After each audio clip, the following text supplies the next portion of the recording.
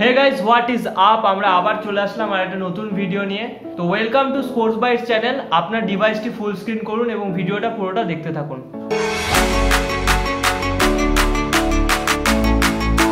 বন্ধুরা, আজকের ভিডিওটা মূলত ইস্ট বেঙ্গলকে নিয়ে। অর্থাৎ ইস্ট বেঙ্গল আমাদের যে কিছুদিন ধরে কিছু ইন্ডিয়ান প্লেয়ার সাইন করেছে। সেই সব ইন্ডিয়ান প্লেয়ারের স্ট্যাট তারা আগের বছর কোথায় খেলেছে, বর্তমানে তাদের অবস্থা কি, সেই সব বিষয়ে আমরা পূর্ণ আলোচনা তোমাদের সাথে করব। তো তোমরা হয়তো সবাই জানো ইস্ট বেঙ্গল কুড়ি জন ইন্ডিয়ান প্লেয়ারকে সাইন করেছে। তো প্রথমেই আসি আমরা গোলকিপারদের কথায়।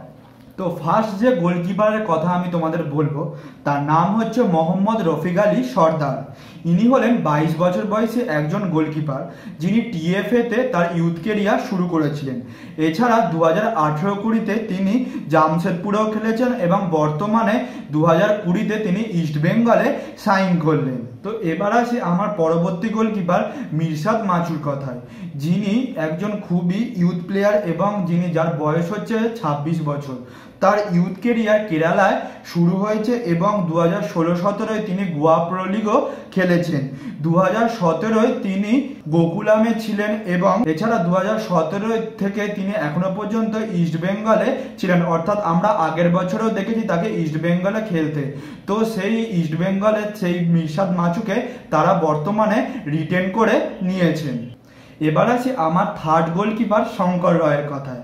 যার বর্তমান বয়স পঁচিশ বছর। তোমরা তো জানোই, আগের বছর মোহনবাগানের আই লিগ জয়ের অন্যতম কান্ডারি তিনি দু হাজার ষোলো থেকে দু হাজার সতেরো অব্দি মোহামেডানের হয়ে সেকেন্ড ডিভিশন আই লিগ খেলেছেন এবং দু হাজার সতেরো থেকে অর্থাৎ আগের বছর অব্দি দু হাজার উনিশ অব্দি তিনি মোহনবাগানে ছিলেন এবং বর্তমানে শঙ্কর রায়কেই ইস্টবেঙ্গল আবার সাইন করিয়ে নিয়েছে। তো এর থেকে বোঝা গেল সবাই ইয়ং প্লেয়ার আমরা গোলকিপারদের অ্যানালাইজ করলে বোঝা গেল যে সবাই ইয়ং প্লেয়ার ট্যালেন্টেড প্লেয়ার কিন্তু এক্সপিরিয়েন্স কম।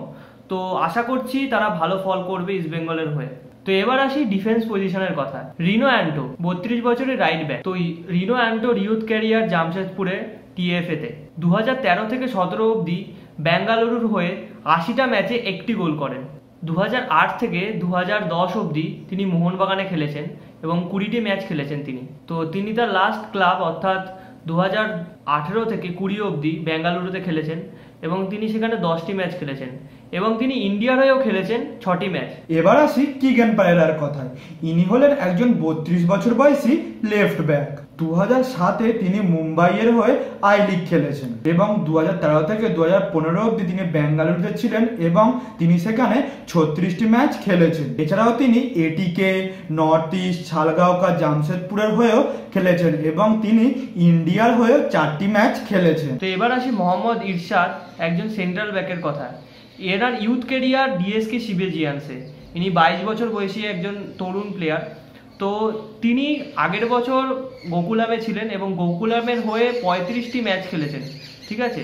তো ইনি, এনার মেন যে খেলাটা সেটা গোকুলামের হয়েছিল, তো এই বছর তিনি ইস্ট বেঙ্গলে সাইন করলেন। এবার আসি গুরতেজ সিং এর কথায়। ইনি হলেন একজন তিরিশ বছর বয়সী সেন্টার ব্যাক যার ইউথ কেরিয়ার জেসিটিতে এবং দু সতেরো থেকে দু হাজার উনিশ অব্দি তিনি পুনে সিটিতে ছিলেন এবং যেখানে উনত্রিশ ম্যাচে একটি গোল করেছেন। এছাড়া তিনি চার্চিল, হায়দ্রাবাদ এবং পুনে সিটিতেও খেলেছেন। তো এবার আসি একজন ইয়ং প্লেয়ার নবীন গুরুমের কথা। একুশ বছরই বয়সী লেফট ব্যাক তার ইউথ কেরিয়ার ছিল শিলং লাজংয়ের হয়ে এবং দু সতেরো থেকে উনিশ অব্দি তিনি শিলং লাজংয়েরও ছত্রিশটি ম্যাচ খেলেছেন। এবং লাস্ট দু হাজার উনিশে রিয়েল কাশ্মীরের হয়ে এগারোটি ম্যাচ খেলেছেন। এবার আসি চুলোভার কথায়। ইনি হলেন একজন পঁচিশ বছর বয়সী ডিফেন্ডার যার ইউথ কেরিয়ার আইজল একাডেমিতে গড়ে উঠেছে। দু হাজার চোদ্দ থেকে দু হাজার সতেরো আইজালের হয়ে তিনি তিরিশটা ম্যাচ খেলেছেন এবং একটি গোল করেছেন। এছাড়া দু হাজার সতেরো থেকে দু হাজার উনিশ অব্দি তিনি ইস্ট বেঙ্গলের হয়ে তিরিশটা ম্যাচ খেলেছেন। এছাড়া তোমরা সবাই জানো, অর্থাৎ আগের বছর দু হাজার উনিশে তিনি মোহনবাগানের হয়ে আই লিগ চ্যাম্পিয়ন হয়েছিলেন যেখানে তিনি মোট মোহনবাগানের হয়ে পাঁচটি ম্যাচ খেলেছেন। তো এবার আসি মিডফিল্ডারদের কথায়।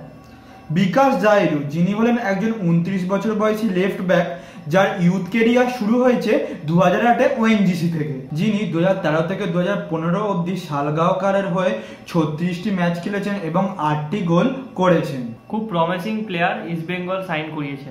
দু হাজার সতেরো থেকে দু হাজার আঠেরো অব্দি তিনি জামশেদপুরে ছিলেন এবং সেখানে আঠাশটি ম্যাচ খেলেছেন।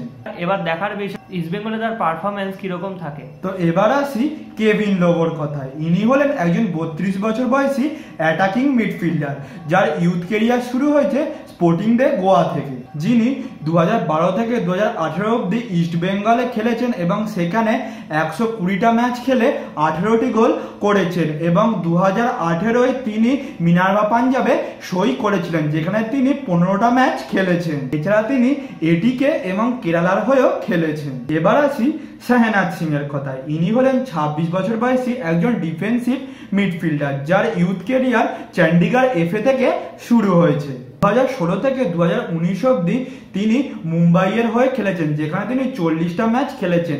এছাড়াও মোহনবাগান এটিকে পৈলা ন্যারোস ইস্ট বেঙ্গল এইসব টিমেও তিনি খেলেছেন এবং দু হাজার পনেরো থেকে তিনি ইন্ডিয়ার হয়ে পাঁচটি ম্যাচ খেলেছেন। এবার আসি মিলন সিং এর কথা এই মিলন সিং আঠাশ বছর বয়সী মিডফিল্ডার। তার ইউথ কেরিয়ার টিএফএ থেকে হয়েছে এবং ইস্টবেঙ্গলের আন্ডার নাইনটিন স্কোয়াডেও তিনি ছিলেন। দু থেকে দু অব্দি তিনি পৈলানারসে খেলেছেন। সেখানে তিনি চল্লিশটি ম্যাচে সাতটি গোল করেছেন। এছাড়াও তিনি ডিএসকে শিবাজিয়ান্স শিলং লাজং এবং আইএসএল এর দল নর্থ ইস্ট এবং মুম্বাই সিটির হয়েও খেলেছেন। আসি মোহাম্মদ রফিকের কথায়, ওই উনত্রিশ বছরই সেন্টার মিডফিল্ডার দু হাজার দশ থেকে দু অব্দি তিনি ইউনাইটেড স্পোর্টসের হয়ে ছাপ্পান্নটি ম্যাচে ছটি গোল করেছেন এবং দু হাজার চোদ্দ থেকে আঠেরো অব্দি ইস্টবেঙ্গলের হয়ে বাষট্টি ম্যাচে দুটি গোল করেছেন এবং দু সালে মুম্বাই সিটির হয়েও তিনি খেলেছেন আঠেরোটি ম্যাচ এবং ইন্ডিয়ার হয়ে এগারোটি ম্যাচে একটি গোল করেছেন। তো এবার আসি ইউএনসন লিংডোর কথায়। এই তেত্রিশ বছরই মিডফিল্ডার, যার ইউথ কেরিয়ার ছিল আর ইউএফসি একটি মেঘালয়ের টিমে সেখানে তিনি দু থেকে দু দশ অব্দি সত্তরটি ম্যাচে আঠেরোটি গোল করেছেন এবং দু চোদ্দ থেকে সতেরো অব্দি ব্যাঙ্গালুরুর হয়ে তিনি অসাধারণ পারফরমেন্স করেছেন এবং তেতাল্লিশ ম্যাচে দশটি গোল করেছেন। এছাড়াও তিনি এটিকে পুনে, শিলং, লাজং এর হয়ে খেলেছেন। এবার আসি স্ট্রাইকারদের কথা তো প্রথমেই আসি।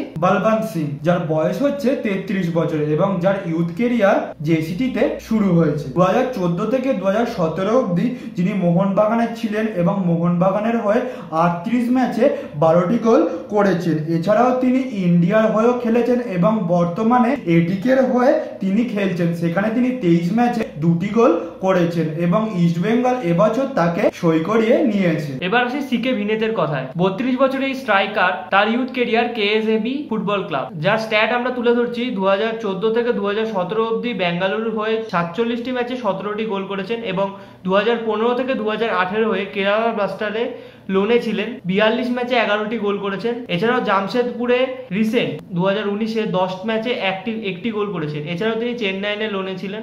তার পারফরমেন্স ইমপ্রেসিভ না হলেও তিনি একজন অভিজ্ঞ প্লেয়ার হিসেবে খুবই ভালো। এবার আসি আরেকজন ইয়ং প্লেয়ার গিরিক খোসলার কথায় এই পঁচিশ বছরই ফরওয়ার্ড যার ইউথ কেরিয়ার মিনারবা পাঞ্জাবে ছিল এবং সিনিয়র টিমের হয়ে মিনারবা পাঞ্জাবে ছাব্বিশটি ম্যাচে পাঁচটি গোল করেছে বর্তমানে তাকে ইস্টবেঙ্গল সাইন করিয়েছে। এই ছিল কিছু ইস্টবেঙ্গল প্লেয়ারের স্ট্যাট এবং অ্যানালিসিস এছাড়াও ইস্টবেঙ্গল আরও কিছু ইয়ং প্লেয়ারদের সাইন করিয়েছে। তাদের নাম আমরা নিলাম না কারণ তারা খুব ইয়ং আর তাদের অতটা স্ট্যাট হয়নি। এবার আশা করছি তারা ভালো পারফরমেন্স করবে। ইয়ং এবং এক্সপিরিয়েন্স মিলিয়ে ভালো টিম বানিয়েছে ইস্ট বেঙ্গল তো ইস্ট বেঙ্গলে যেমন প্রত্যেকটা প্লেয়ারের স্ট্যাট নিয়ে আমরা আলোচনা করলাম এবং অ্যানালিসিস করলাম, আশা করি তোমরা প্রত্যেকেই সেটা ভালো করে শুনবে এবং বুঝতে পারবে। এছাড়াও ইস্ট বেঙ্গলের একটা উইক পয়েন্ট নিয়ে আমরা আলোচনা করব, সেটা হলো যে ইস্ট বেঙ্গল মূলত যেটা আমরা দেখছি যে তিরিশ বছরের ঊর্ধ্বে অনেক প্লেয়ারকে সাইন করিয়েছে। এছাড়াও অনেক প্লেয়ার এমন আছে যারা আগের বছর চোট খেয়েছে। তো তাদের রিহ্যাবটা কতটা ভালো হয়েছে, তারা এই বছরের আর কি পারফরমেন্স আমরা সেটা দেখতে পাবো। তো তারা যেমন খেলবে, তাদের অনুযায়ী ইস্ট বেঙ্গল দল খেলবে। এটা আমরা কোনো ইস্ট বেঙ্গল সাপোর্টারের মানে আর কি কি বাজে লাগার কোনো কারণ নেই যে আমরা বললাম যে তোমাদের বাজে লাগা সেটা অবশ্যই নয়। কিন্তু যে, যেটা ফ্যাক্ট আমরা সেটাই বললাম আর কি যে ইস্ট বেঙ্গল এবছর অনেকই তিরিশ বছরের ঊর্ধ্ব প্লেয়ারকে সাইন করিয়েছে যাও তাদের মাইনাসের দিকও হতে পারে, যদি তারা না খেলতে পারে। তো আজকের মতো ভিডিওটা এখানেই শেষ। এবং ভিডিওটি যদি ভালো লেগে থাকে, তাহলে লাইক শেয়ার এবং আজকের যা বিষয় নিয়ে আমরা আলোচনা করলাম, সেটা আপনি আপনার মতামত কমেন্ট বক্সে জানাতে পারেন। এছাড়াও চ্যানেলটাকে সাবস্ক্রাইব করতে কিন্তু ভুলবেন না এবং বেল আইকনটা টিং টং করে দেবেন ডেইলি নোটিফিকেশান পাওয়ার জন্য। তো আজকের জন্য টাটা।